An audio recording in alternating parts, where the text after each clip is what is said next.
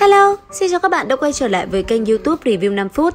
Như các bạn đã biết, sau hành trình vô cùng gian nan khi hóa phàm để cảm nhận thiên đạo, Vương Lâm cuối cùng cũng thành công đột phá hóa thần.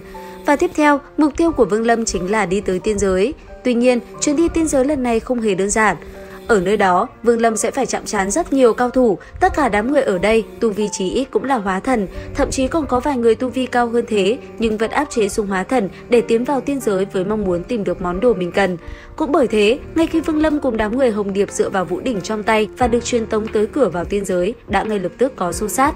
Lần này, kể gây dự với Vương Lâm là một tên tu sĩ hóa thần sơ kỳ, hắn muốn giành chỗ của Vương Lâm để tiến vào tiên giới. Đáng tiếc, Vương Lâm rất nhanh đã lấy ra con cóc tu vi hóa thần hậu kỳ và tẩn cho hắn thổ huyết, khiến tên tu sĩ này sợ hãi liền lùi lại. Sau đó, khi cánh cửa mở ra, đi vào tiên giới, Vương Lâm đã liền nhặt được một cái đỉnh nhỏ, lấy nó đi, anh ấy liền đi tới một tòa cung điện đổ nát. Ở tại đây, thăm dò một hồi, Vương Lâm rốt cuộc cũng tìm được một tia tiên giới khí, bởi thế anh ấy cũng liền tiến hành hấp thu.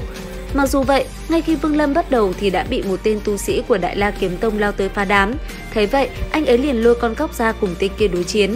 Và thật tiếc cho tên kia, ngay cả con cóc của Vương Lâm hắn cũng không đánh nổi. Đến khi Vương Lâm hấp thu xong tia tiên giới khí, kết cục của hắn chỉ có thể là bỏ mạng. Tuy nhiên, sau khi Vương Lâm đi tới một khu di tích khác, anh ấy lại vô tình gặp phải ảo cảnh cùng hai chữ cứu ta xuất hiện. Thấy vậy, Vương Lâm cảm giác không ổn định phóng người đi thì anh ấy bất chợt thấy một tên tu sĩ khác cũng tới nơi này. Nhìn hắn ta có vẻ lén lút, Vương Lâm liền đứng một bên quan sát. Khi hắn ta bất cẩn, anh ấy liền sử dụng pháp bảo công kích rồi lấy mạng hắn ta. Xong xuôi, Vương Lâm lại tiếp tục đi tìm kiếm và thăm dò. Vô tình tại một khu di tích, Vương Lâm thấy trước mắt mình là một cảnh tượng tiên giới khi xưa. Thế nhưng, trong lúc Vương Lâm đang đắm chìm trong ảo cảnh thì đột nhiên phía sau anh ấy, Hồng Điệp đã xuất hiện. Ngay lúc đó, cô ta liền công kích Vương Lâm. Rất may, trong lúc nam nhân kia chưa tỉnh lại thì con cóc trên người đã tự động lao ra và đỡ được một đòn đó. Cũng đúng vào lúc này, Phương Lâm đã tỉnh lại, thấy Hồng Điệp tấn công mình, hai người đã liền xảy ra một cuộc chiến võ mồm. Sau khi võ mồm chấm dứt thì cũng là lúc cuộc chiến được khai màn. Rất nhanh, Hồng Điệp đã linh phong công kích về phía Vương Lâm. Đối diện với nó, lôi oa mau chóng phóng ra lôi cầu, còn Vương Lâm, anh ấy cũng dung nhập ý cảnh của mình vào trong đó. Đến khi hai đòn công kích va chạm, Vương Lâm cùng con cắp mau chóng lùi lại, thân hình cấp tốc bỏ chạy về phía xa.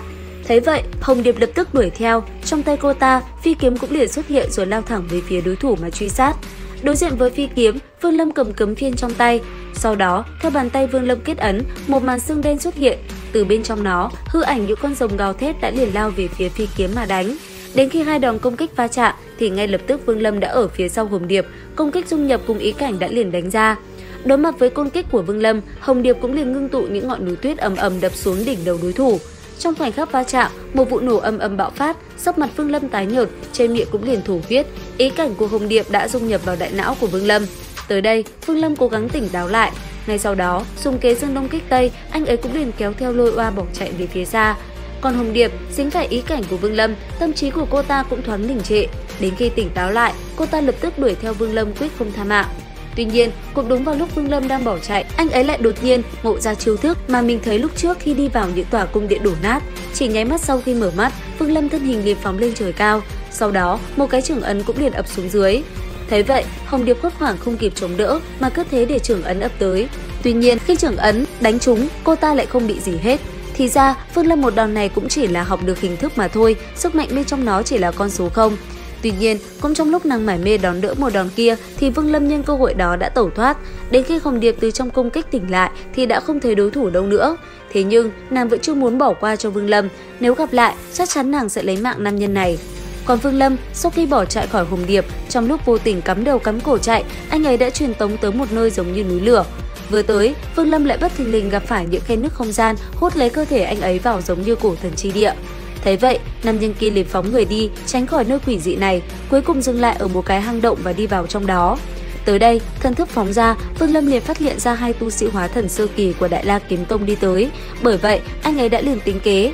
Và liệu rằng hai tên này sẽ chịu kết cục như thế nào? Theo dõi kênh để biết thêm chi tiết nhé. Xin chào và hẹn gặp lại!